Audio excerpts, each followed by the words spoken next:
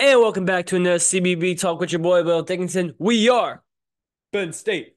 I just let off with that because the Penn State Nittany Lions knocked off Wisconsin last night and a bunch of other interesting results we got to talk about in this episode, man. And I'm pretty sure the title of this episode is going to be Can You Win on the Road in College Basketball? Winning on the road is impossible in college basketball, something like that. And yeah, it's true. Uh, not many teams can do it and especially in the SEC and the Big 12, um, it's impossible. In the Mountain West, it's damn near impossible. And another bunch of victims got dropped off on the road yesterday, including TCU, Baylor, Wisconsin, and Utah State, all lost on the road yesterday, including in Iowa State, all were ranked and lost on the road on Tuesday night. So let's talk about some interesting results on Tuesday. Um, again, I always go in chronological order because I will forget if I don't. Uh, know this is a great game to start with, and it's not the game wasn't great.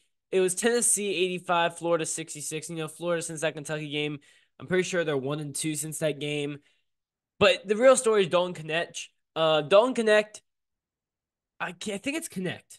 Dalton Knecht, 39 in this one. He's averaging over 30 points in his last three games. This dude is on a absolute tear. He's one of the best players in the country, and that's a fact. Um, what he's done is carrying this Tennessee team, and he's made them more than just a really gritty defensive team, which Tennessee's been in the past, or at least in the last couple years. Good win for Tennessee. I have him fifth in the in the nation, and this Dalton Knecht He's going to be a he right now. I think he's a first team All American. Look, it was going to be probably Terrence Shannon. I think Knecht's a guard. He might be a forward. I don't know how he'll be classified. I don't know if it actually matters. Um, but obviously Zach Edey, uh, Dalton Knecht, I do think will be a first team All American. Hunter Dickinson will probably be a first team All American. Uh, I, but Dalton Knecht right now is playing himself into that 39 this one. He's one of the best scorers in the country there dominant win for the Vols. And he has cemented himself as a household name in the sport. A transfer from Northern Colorado in his fifth year, played JUCO ball. A great story. He's he's building himself into an NBA draft pick, that's for sure. Um, can score the ball from anywhere on the court. Um, good shooter. Can play a two through three, maybe even four if he puts some more muscle. Good win for the Vols. I got him fifth. Um, right now my favorite in the SEC. Uh, I'll just give a quick shout out. You know, this isn't a big game, but Samford's has the longest win streak in the country officially now by itself. It was tied with Utah State after Utah State lost last night. Samford won. Uh, they have the lead in the SoCon right now. They're the favorite. They beat Western Carolina on the road, who was also undefeated in SoCon play. Shout out to Samford there. They're almost ahead of Stanford in the net for the first time ever. So shout out there to I believe the Bulldogs. I believe they're the Bulldogs. We had Alabama Bailey hold on against Missouri. It was a close first half. Alabama blows them out in the second half against Missouri. Alabama's red hot in the S- in SEC play there. They're finally getting back to what they were supposed to be at the beginning of this year. Purdue wipes Indiana. Zach Edey with another 30 point game back to back for him. Purdue proves Illinois' ass, is what I'm. Oh, Indiana's ass. Sorry, Illinois. Purdue proved that Indiana's ass. Uh, Purdue's good. I got them two in the country. Some people say they're one. I don't hate it, but I gotta say, Purdue's two. But Indiana, you're bad. You're a bad team. Uh, it sucks. Mike Woodson, I think he's on the hot seat. TCU and Cincinnati played a great overtime game. A lot of missed free throws in this one. And some could say TCU got screwed by the refs. It didn't matter. Cincinnati storm courts, storms the court there, which interesting decision there. You beat the 19th ranked team in the country. You guys now have the exact same record in conference play and overall. You storm the court. Okay, you were favorites in that game. You can't storm a court that you're a game that you're a favorite in. That should be a rule. They did it. Shout out to the Bearcats. They're a good win there. Tennyson 17, Thomas had 21. Cincinnati missed free throws at the end to win. Then TCU does the exact same thing after Cincinnati misses his, their both of their. I believe, I believe Skilling missed their free throws for Cincinnati there, so it wasn't a pretty game. But the Bearcats win. I still got TCU. Actually, I had TCU 16th. I have them now at 19th. Uh, not it's not a bad loss. Cincinnati's actually, I think, an underrated team. They could easily be 3 and 1, 4 and 0 in, in the Big 12, but they're 2 and 2. They've played tough games. This is a tournament level team. So is TCU. And what I'm talking about is it's impossible to win road games. It's pretty much impossible win road games in the Big 12 uh, unless it's Oklahoma State or West Virginia. If it's not one of those two teams, you're losing on the road. It's almost that's almost what the guarantee is. If you can steal one, congrats. Both these teams, let's go 500 in league play. You will be in the tournament. I think TCU is the better team. They ba- almost won this game on the road against Cincinnati. So if you win a road game in the Big 12, you got my eye. Shout out to Cincinnati though, big win. I just got them out. I still have TCU in the rankings there, but a very good win for the Bearcats. They're two and two in Big 12 play. Good start of their Big of their Big 12 run as a program. Um, yeah, I think Cincinnati's trending in the right direction there. A team that was expected to be ass. They're not. They're 13 and 4. TCU, I like TCU's roster. I think they're going to be good. A very interesting game in my neck of the woods was Wake Forest for uh, NC State. NC State holds on, big 10 point comeback, multiple ejections, a lot of technical fouls, and the most iconic moment of the season potentially happened from DJ Horne. At the end of the game, gave him one of these. Kids, close your eyes. He gave him one of these. That was awesome. The ref turns his back at the free throw line. He gives him the double birds. It goes viral. ACC wants to reprimand him. He apologizes. Don't apologize. That was hilarious. One of the funniest moments. That's going to be a great meme. Uh, NC State good comeback from, come from behind win without Kevin Keatts. They score they outscore by 17 in the second half there. Carr was amazing. Also, I think Austin Carr was amazing in that first half of Wake Forest. Nothing in the second half. But NC State might be the worst shooting team I've ever seen.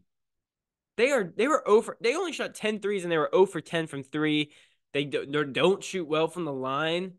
I mean, they were actually decent 25 or 33, so that's pretty good from the line there. But 0 for 8, oh, sorry, 0 for 8 from 3. They shoot 8 3, so they don't really, they are downhill reliant defensive team, but they're 5 1 in ACC play, which is their second, they're t- I think they're third in the, or tied for second in the ACC. They're playing well. I think the best four teams in the ACC are the North Carolina teams UNC, Duke, NC State, Wake, Clemson woo, Clemson's falling off the charts. Miami, I'm not sure. So shout out to Wake and NC State. NC State could get back in the tournament for the first time in a while, but that was a great game in my neck of the woods, uh, and a great moment from DJ Horne, One of the funniest I've seen. Jerome Tang in Kansas State wins a home game in the Big 12. Not really surprised, but Jerome Tang's now moved to 3 0 against Baylor. Kansas State gets their first quad one win. Um, I think Providence probably was a quad one win, but now without um D Hop or B Hop, um, Bryce Hopkins, they're, they're just not a good team. Kansas State went 68 64 in overtime. Jerome Tang, 10 0 in overtime in his career, 5 0 this season. Kansas State just turns into a great team in overtime. Uh, big shot there by Arthur Kaluma down the stretch. Cam Carter had 18. Kansas State's building a tournament resume here. They have an easy Big 12 schedule now. It's not round robin. Baylor, not worried. You lost a close game on the road in the Big 12 there against probably a tournament team. I can't knock you too much for that. I think I moved down like 14th in the nation there from nine. Kansas State, you're not really being considered ranked just because your your resume is not amazing. I don't know how great talented this team is, but look, if you go 500 to Big 12, you're probably going to make the tournament here. They're on pace to do that. I think they're three and one. They're playing well. Jerome Tang's changed the culture over there in Kansas. Um, and Kansas State's building a tournament resume. Really good for Kansas State. Baylor, not too concerned, but win your home games in the Big 12. They did that. Baylor, was that their first conference loss? I think that was their first conference loss this year. Not too shocking though. Can't winning road games is very very tough. Uh, DaRon Holmes might be one of the most underrated players in the nation. 29 and 14 in this one. He's going to be an arguably all he's going to be an all-American this year. Dayton's legit. I think I moved Dayton up.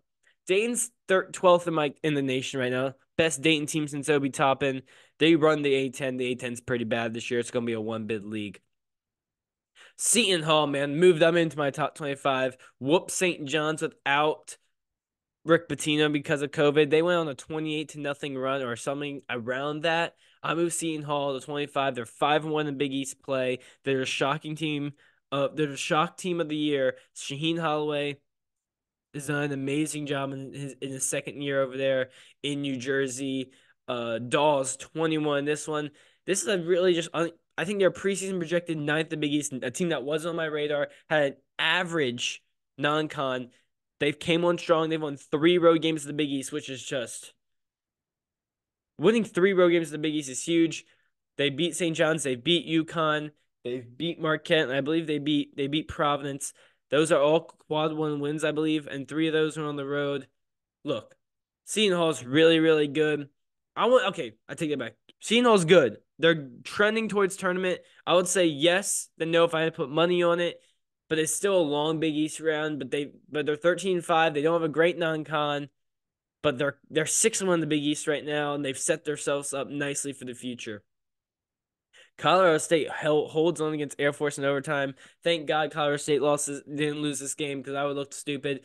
Colorado, you got I got Colorado State 23rd in the nation right now. The Mount West is just a tricky, tricky conference, man. I can't tell if the Mount West is super good or all these teams are mid. I can't tell if all these teams are mid or all of them are good and they just beat each other. Um, we can get to that later. Clemson lost a home game to Georgia Tech. You're, the ACC is not helping themselves. Miami losing a home game to Louisville, Clemson losing a home game to Georgia Tech. What is going on? What is going on? Clemson's now lost four of their last five. A team I was super high on. They're falling off. This is what happens to Clemson these last couple years. Good game for PJ Hall. He had 31 there. It was enough. They lost by three in overtime. Uh, double OT there in Clemson. BYU wins a home game in the Big 12 against Iowa State there by 15. Shout out to BYU there. I can't I just can't find a room in my rankings for BYU. Moved Iowa State out. Uh, and Seton Hall was the team that replaced them. I do think the Big 12 is insanely deep. I think this could be an 8 bid 8 bid league this year. With uh, Johnson 28 in this one. Spencer Johnson at 28 and nine in this one, four for nine and three. BYU shot the cover off the ball. They were what were they? Oh, they were thirteen for thirty. So they actually they really did. Their starter shot really well from three. They hit 13 threes to Iowa State's four. BYU is gonna is take takes a lot of threes, and that's what they're prone to be upset. But they can beat anyone in the country. They got great computer numbers. BYU another surprise team in the Big 12. But again, win your home games in the Big 12 because it's really hard to win road games there. Iowa State was a victim of that. The Big 12 is just a gauntlet. Uh, that's a conference I know it's good, uh, and they just beat up each other. It happens every year. Kansas destroy Oklahoma State on the road. Not too surprised there. Hunter Dickinson, 21. Nick Timberland had a nasty poster in that one. Uh, Texas A&M loses to Arkansas at home. I don't know. I really don't know. Texas A&M is a bipolar team. Georgia good win over South Carolina. South Carolina, I think they're a little they're fraudulent. Georgia wins. Georgia, I do think can be a tournament team this year. I think they're if they can finish top five in the SEC, I believe they can get there. No doubt about it. Wisconsin loses to Penn State. I was a huge Penn State fan last year with Jalen Pickett. This year, they're not that good in the first year. Coach Mike Rhoades, but they get a big win here against an undefeated Big Ten team in Wisconsin. We're undefeated in conference play. They were what four 0 going into this game. They drop one on the road there. It's tough to win on the road, but you would like to beat a team that's was under 500 going in. They don't. AJ scored 23. It wasn't enough. The Badgers drop one, and now they only have a one game lead in the conference. Wisconsin, I did drop the 15th in the nation, dropped them four spots there. I do think Wisconsin's still a very good team, but a weird loss there. Didn't see that one coming, but it's college basketball and they play the road game. Maybe I should expect every home team just to win because it seems like that's what happens. I guess except for Boise State, who had the longest home winning streak in the country, loses a home game to UNLV. Boise State's another weird team to figure out. They've been red hot of recent, lose a home game to UNLV. You're not even on my radar anymore. And that's what I'm talking about because New Mexico beats Utah State at home, snaps a 15 game win streak there, or 14 game win streak there by the by the Aggies. The Lobos 15 3 with back to back wins against San Diego State and Utah State, two ranked teams. I think the Lobos are legit. But for me, the Mount West is hard to tell. Are these teams really, really good, or are they just all okay and they beat up on each other? Colorado State, Nevada, Utah State, New Mexico, Boise State, and San Diego State. That's six teams that I think can make a tournament in this league. I think it'll end up being five. But how good are they really? They've beat up on each other so much. And I do want to look at these Mountain West standings because they're super interesting to me.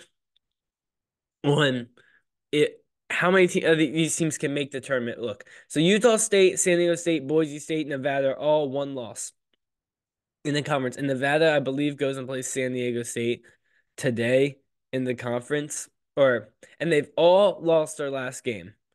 New Mexico's three and two, one two in a row and Colorado State's two and two. They're all sub 50 in the net except Boise State, who's 54. There's four teams in the top 20 of top 30 in the net. And then there's a steep drop off where the last four teams are really bad. UNLV's average. So in this conference, I think they're all good. I do think I think Boise State's the weakest team in there, but look, they're they if they win this game, Boise State's 4-0 in the conference and they're being top of of the Mountain West, and I would be like, okay, Boise State's legit. You lose a home game to UNLV. It's this tough. Uh, I I, I want to see this Nevada San Diego State game because I'm not sure how Nevada will handle coming off a loss. So is San Diego State. They got pounded against New Mexico. The Mountain West is one of the most interesting conferences this year because at the top it's super elite, but they beat up on each other so much that I'm not sure how these teams are gonna be it's hard to rank them because they one will win, beat each other, then lose the next game against another one.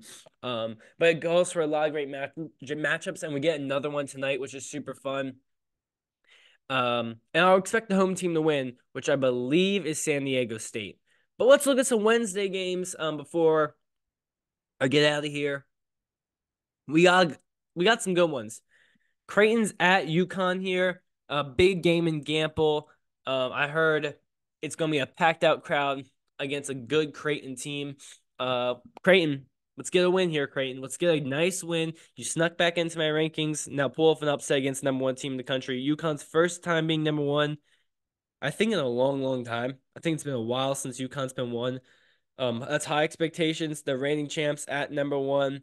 Big game in Big East play. Six point favorites seems a little low to me. I think UConn wins this game. I know no Clingan. I know there's no Clingan. So far, it hasn't mattered. Samson Johnson's stepped in amazing. Cam Spencer's a dog. Uh, Karaban's been amazing. Tristen Newton's an amazing point guard. Stephen Castle's got better each and every game. I like this UConn team. Imagine they had Clingan. I think UConn's best team in the country, but they'll probably somehow lose this game knowing how much I've been talking about the home team winning, somehow the home teams are all going to lose today. Miami, Florida State. Florida State's 4 1 ACC play. Miami doesn't really, has a fringe tournament resume right now. Let's get some wins, Miami. Let's get some wins. Ole Miss is underdogs against an LSU team on the road. I understand on the road. I understand. But I Ole Miss is the better team. They've doubted Ole Miss all year because they don't have great computer numbers. But look, they're 15 and 1. Chris Beard done an amazing job. I'm sure if Ole Miss wins this game, I they're my first team out. I was but but I was debating between Seton Hall and Ole Miss. I went Seton Hall. Ole Miss wins this game. They'll probably sneak their way in. Mississippi State's at Kentucky.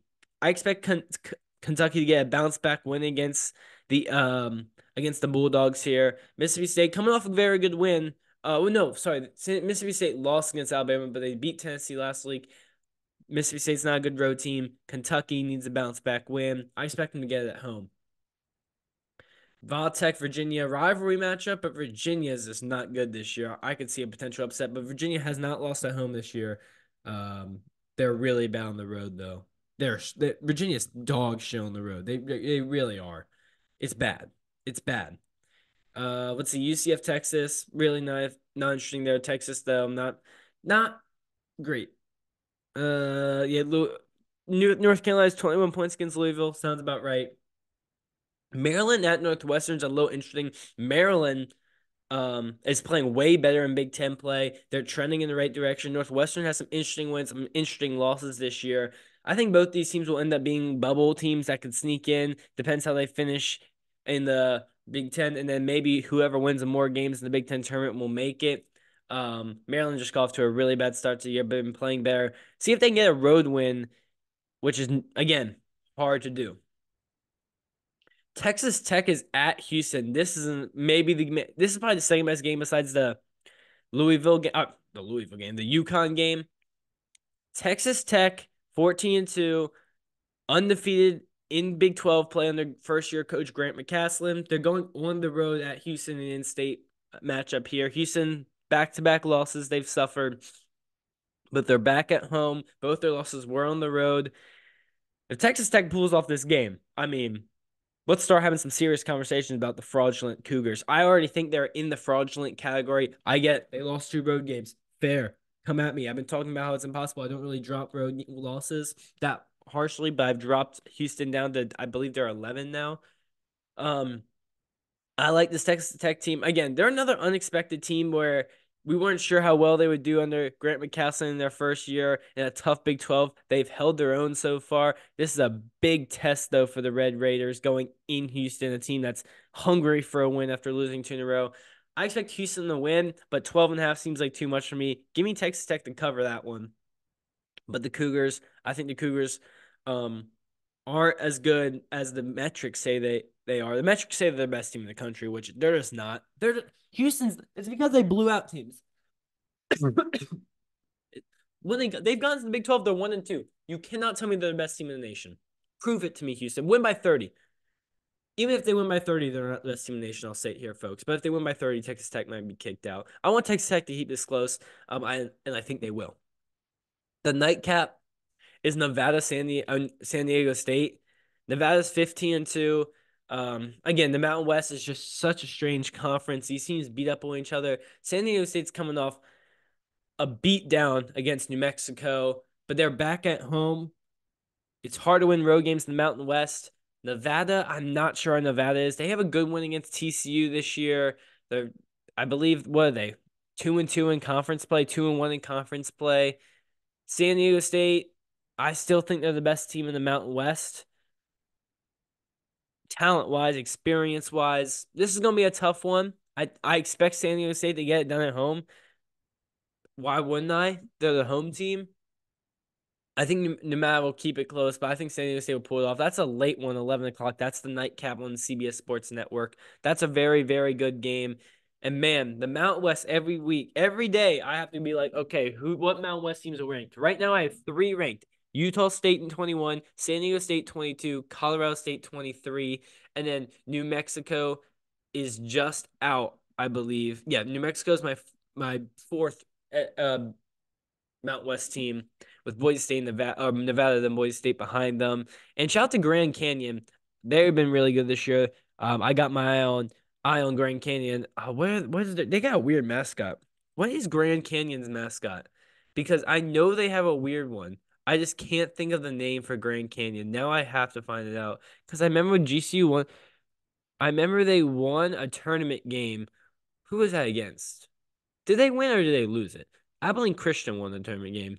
Um, but I'm not sure. What's their mascot? Okay. Antelopes.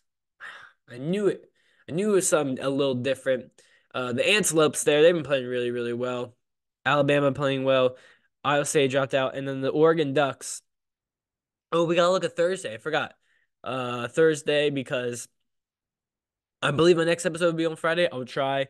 Um, I don't know when I'm gonna be able to get uh, Fridays out. It might be a Saturday morning, but I'm trying to hopefully get on Friday. It just depends on what I'm doing. Uh, but hopefully I can. Uh, Thursday's nothing amazing. Illinois is on the road against Michigan. On the road game, I guess, is tough. Yeah, Grand Canyon. Uh, they're they've been playing really good. They play on Thursday, and then yeah, Oregon against Colorado. I I would keep my eye on Oregon undefeated in the Pac-12, win a road game would be huge. Colorado, they're back to fully healthy, but they've been struggling. A team that was high on this year so far has let me down, especially in Pac-12 play. The Pac-12 is just I don't know. I can't. I don't know what to think about the Pac-12. I think it's a two-bid league. I think Oregon's a second team. Let's see if they can get a road win here that would really put the nation on notice. I think they could be able to get ranked um, or be really close to it uh, next week, and they probably can find a way to get ranked this season. But yeah, there, that's besides it. There's nothing crazy on Thursday, and yeah, we got a lot of good games though today. Road winning, winning on the road is damn near impossible in college basketball. The Penn State shirt for the Penn State win. Another episode of CBB Talk in the books. Thanks for watching, and we'll see you next time.